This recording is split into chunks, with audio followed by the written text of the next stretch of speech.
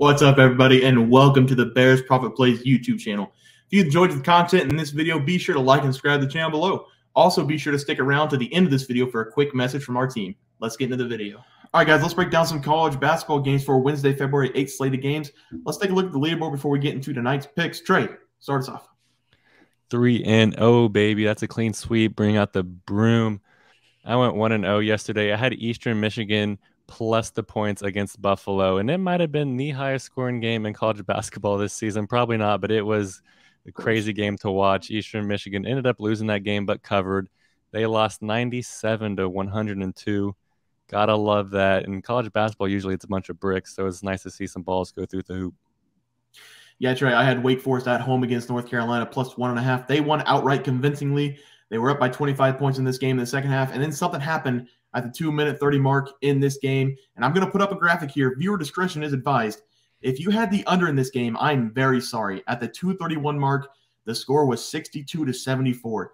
In two minutes of game time, UNC scored 23 and Wake and Wake scored 18 points. That's what they call a bad beat for the people who had the under. UNC went into hack mode trying to cut into the lead, and that caused underbetters everywhere to rethink life and overbetters everywhere rejoicing. So hopefully you guys have the right side with the over under but we cash with Wake plus one and a half in the game. Teats?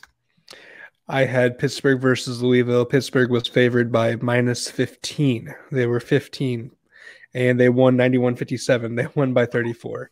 Uh, like I said, I would have taken them almost minus 42 whenever we were talking about it. Uh, I was pretty close. So that's a, that's a pretty easy win. Yeah, Louisville once again showing they're one of the worst teams in college basketball this season. Let's take a look at tonight's games. 3 0 last night. Let's do it again tonight. Trey, start us off. Yeah, I'm going to go with Syracuse and Florida State. Gotta love some good ACC basketball. Florida State has had a huge fall from grace over the last few years. I remember just not so long ago, they were uh, making some noise in March Madness, so it's kind of sad to see them be like the worst team in ACC. Syracuse is not much better, but they've at least been respectable this season. And Syracuse does have a better road record, than Florida State has a better home record. So that does need to be noted. And that's probably why Syracuse is favored in this game. But 62% of Syracuse's points come from three players Girard at 16.6 points per game, Mintz at 15.4, and Jesse Edwards at 14 points per game. Edwards is their heart and soul. He's been averaging a double double with with the 14 points per game and 10.1 rebounds. I expect Edwards to eat some barbecue chicken all night long against Florida State. And the reason for that is Florida State cannot stop a cold defensively. They are ranked 327th in the nation when it comes to points allowed per game, allowing over 75 points per game. I think the Orange are going to score a lot of points. I was maybe going to pick the over in this game, but I do think Syracuse should win this game very convincingly because the trends are good for it, and so are my gut the road team in this matchup is 5 0 ATS in, the last five games. And Syracuse is 4 1 ATS in their last five road games. They're also 4 1 1 ATS in, their last six games overall. So give me the Orange as uh, road favorites in this matchup. Yeah, Trey, I like that pick. Um, tonight, I'm going to go with a Big 12 game, and we're going to take a trip to West Virginia. Iowa State is traveling to West Virginia, and I'm going to take the Mountaineers here money line. They are minus three at home against the number 11 team in the nation that alone should raise some red flags because West Virginia is third to last in the conference this year. Uh, but this is the Big 12. All these teams are good, and all these teams struggle on the road. The only teams in the Big 12 with a winning record on the road is Kansas and Texas, both of them sitting at four and three on the year. I had Iowa State against Texas Tech two games ago for the Cyclones before they beat Kansas on their home court. In that game, Iowa State went up 23 points and then blew it in the second half, losing by three in overtime to Texas Tech. This team cannot go on the road and consistently play good basketball. One of the best defensive performances I've ever seen, uh, especially this season. One of the best defensive performances I've seen this season. Uh, now they get West Virginia, a team who just beat Oklahoma 93 to 61 on their home court. And it's not like West Virginia is bad, right? They played TCU, lost by four. They played Auburn, won that game by three. They played Texas Tech, won that game by 15. They played Texas at home, they lost by eight. Those are just the last five games. They are a very competitive team. At home this season, West Virginia is 10 and 3, and on the road, Iowa State is 2 and 5 the third worst record in the Big 12 on the road for the Cyclones. Both of these defenses are very good. Iowa State, obviously, the better defense, allowing 61.2 points per game compared to West Virginia's 69.1 points per game. But the Mountaineers are better on the offensive side of the ball, scoring 77 compared to Iowa State's 70.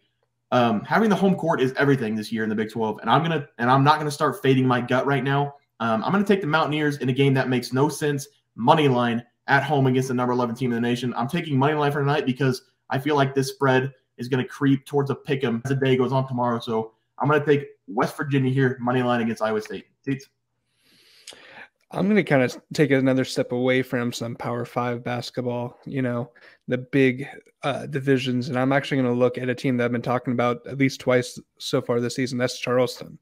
Uh, they're going up against UNC Wilmington and the spread is about minus nine and a half for Charleston at home. Um, Charleston for me is one and one right now, so this is kind of a make or break to see if I continue to ride with Charleston or if I have to retire them and kind of look elsewhere. Uh, Charleston in their last five, they're three and two. They lost to Hofstra by four, and they lost to Drexel. Uh, they did beat Delaware by 17 and Northeastern by 36.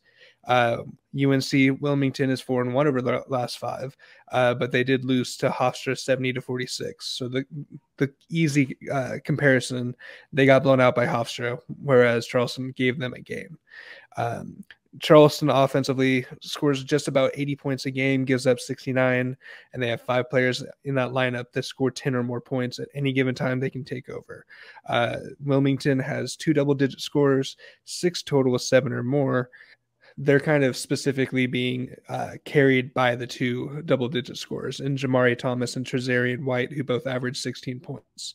Uh, last time that they played, Charleston won 71 69 on the road.